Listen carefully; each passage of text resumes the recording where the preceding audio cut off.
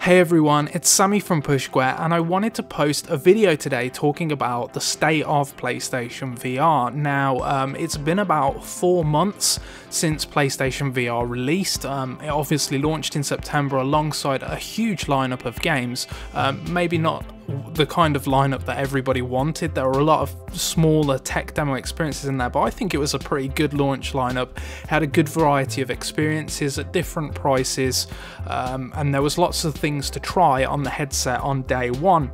And Sony did quite a good job, in my opinion, of keeping the PlayStation Store stocked with new content right through until Christmas. There was practically a new virtual reality game or experience um, launching every week in the run up to Christmas, but things have definitely quietened down now.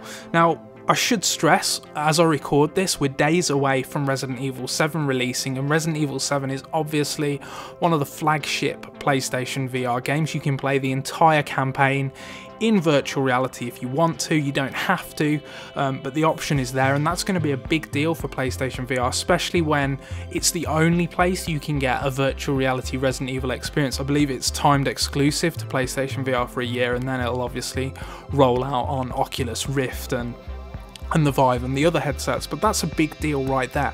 But outside of Resident Evil 7, I am starting to worry a little bit um, that we're seeing a similar pattern with PlayStation VR that, that's so familiar with Sony. You know, the Vita and PlayStation Move, all of those things very quietly, very, very quickly dried up.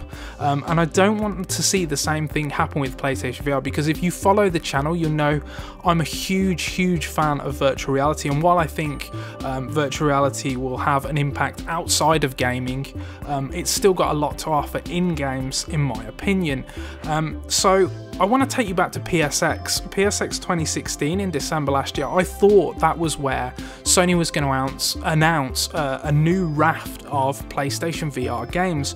But um, if my memory serves me correctly, it only announced one title. Now, I forget exactly what that title was, but it was a kind of a cockpit rigs-esque shooter type thing if I remember correctly. It didn't look that exciting to me and that was the only thing they had to offer.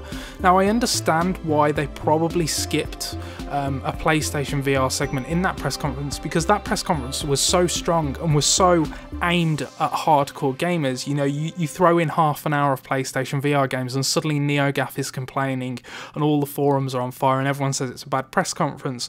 So they avoided that, but they need to start talking about the second wave of PlayStation VR content now because things have gone very quiet. Beyond Resident Evil 7, um, there's games like Farpoint and Gran Turismo Sport to look forward to, but there's not a lot else that they've talked about yet. We know London Studios working on a new game, we know Manchester Studios working on a new game, and we can probably assume that there are lots of indie developers, lots of smaller developers, and maybe even some big third party developers that are, are working on VR games. But I really feel like Sony needs to start talking about it again because it's gone so quiet. The problem is that PlayStation VR just hasn't been in stock since launch, and when it does come into stock, it sells out really quickly, um, and that's a major problem for the product. Um, and I think it is affecting how much they're talking about it. Obviously, why put marketing dollars, why put so much time and effort into a product that people can't even buy at the moment. So they need to sort out the stock situation. They need to get it onto shelves so that people can actually buy the thing. And then they need to start talking about what's coming. They need to give this product um, a roadmap. Um, and and start reinforcing the idea that they're not going to just drop it like the Vita, like PlayStation Move, like so many Sony products we've seen over the years. Um, my understanding is that it's selling okay, um, and the fact that it's sold out suggests that it's selling as well as uh, like it's selling as good as as they can manufacture it. You know it's selling as fast as the ones they can manufacture. So there shouldn't be any issues with the install base. It is going to be an install a small install base but i imagine the people that have got it are quite active and are buying lots of games for it. Certainly i am. I i have a massive folder on my ps4 of playstation vr games that i've bought.